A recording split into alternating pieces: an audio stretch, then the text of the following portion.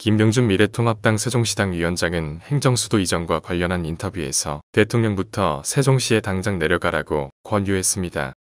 김병준 위원장은 27일 오전 MBC 라디오 김종배의 시선 집중의 전화 인터뷰에서 행정수도 이전과 관련하여 어떤 생각이 드느냐는 진행자의 질문에 이 정부 출범한 지 벌써 3년인데 지난 3년 아무 말도 안 하고 있다가 갑자기 던지나 이런 생각과 김태년 의원의 이야기만 보고 주변 이야기를 들어보면 고민이 아직 짙지 않다.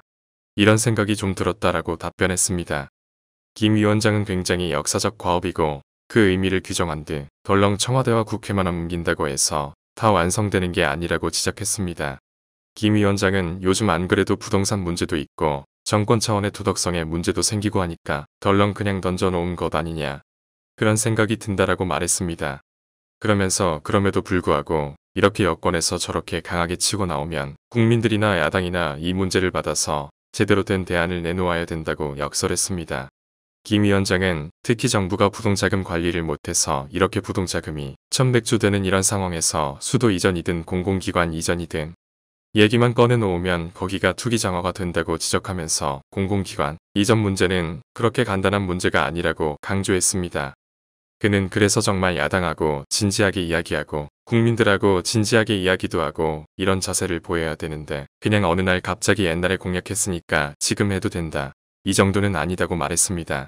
김 위원장은 이 문제가 역사적 과업이거든요. 반드시 돼야 되는 일들이고 그래서 좀 더 진지하게 접근해 줬으면 좋겠다 하는 생각이 있다고 했습니다. 한편 행정수도 이전에 대해서 민주당 안에서도 여야가 합의로 법안을 만들면 가능하다는 얘기도 있고 이해찬 대표는 개헌이 필요하다는 얘기를 한다는 진행자의 질문에 개헌을 하면 제일 좋지만 개헌이 얼마나 어렵다는 걸 우리 다 알지 않습니까? 라고 되물었습니다. 그는 개헌을 기다리는 우리 소위 권력구조 문제나 중요한 사안들이 너무 많아서 개헌이 너무너무 힘들지 않습니까? 라면서 그래서 개헌을 하지 않고 할 수 있는 방안을 찾으면 있다고 답했다. 또한 세종시나 충청권의 반응을 묻는 진행자의 질문에 상당히 기대가 커졌죠. 기대가 커졌고 저는 그게 좋은 일이라고 생각한다고 전했습니다. 그러면서 세종시를 중심으로 한 균형 발전에서 놓쳐서는 안 되는 것은 분권과 자율임을 지적하면서 분권과 자율, 규제 완화 이런 것을 살리는 이전이 돼야 한다는 점을 강조했습니다.